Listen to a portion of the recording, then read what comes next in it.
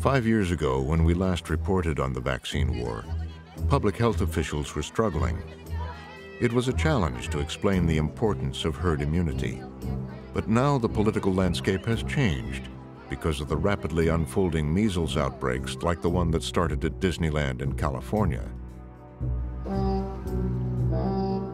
The outbreak there, public health officials say, is a sign of poor herd immunity caused by parents using the personal belief exemption to opt out of the mandatory vaccine schedule required for attending public schools. There are essentially two types of non-medical exemptions in this country, religious exemptions and personal belief exemptions. The way those two types of exemptions are administered around the country vary widely. In some places, you essentially just need to say, it is my personal belief that I should not vaccinate my child, and sign a piece of paper, and that's that. Reed Elementary School in Marin County has traditionally made it easy to obtain such exemptions.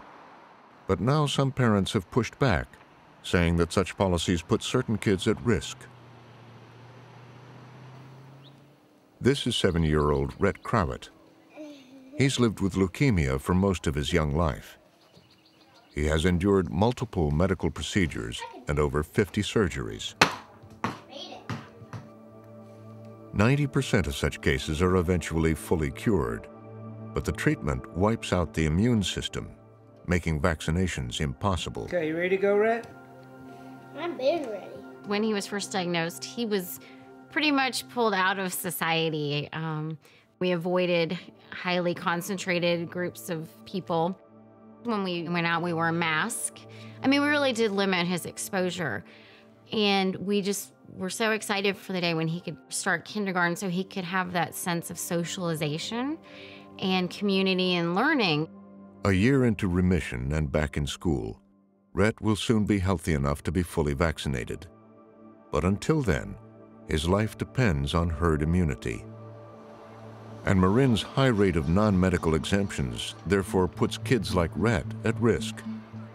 We also have talked to our volunteers. That's what this school board meeting is all about. So at this point in the meeting, what we're going to do is turn it over to public comment. Rhett's family has come to argue that Reed Elementary should bar unvaccinated kids who don't have legitimate medical exemptions. This story isn't about Rhett anymore. It's about the hundreds of kids currently with suppressed immune systems that rely on the science of herd immunity.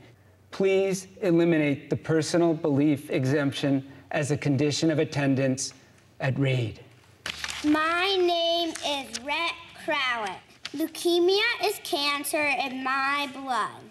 Rhett has become a poster child for the pro-vaccine camp, which is now on the offensive, with California politicians considering new legislation to repeal personal belief exemptions.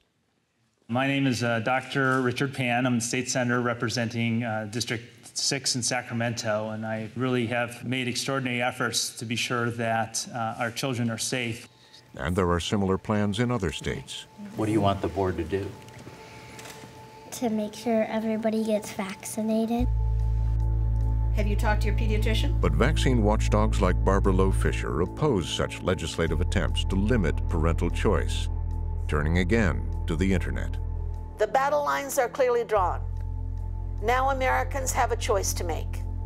Will we stand up and fight to protect our freedom, to make voluntary decisions about which vaccines we buy and use?